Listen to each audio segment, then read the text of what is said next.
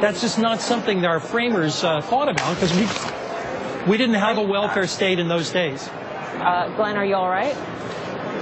I'm fine. Okay, good, good. Apologize for that, by the way. I love live That's TV. okay. You never know what's going to happen. That's what happens when you criticize the welfare state. Uh, Glenn,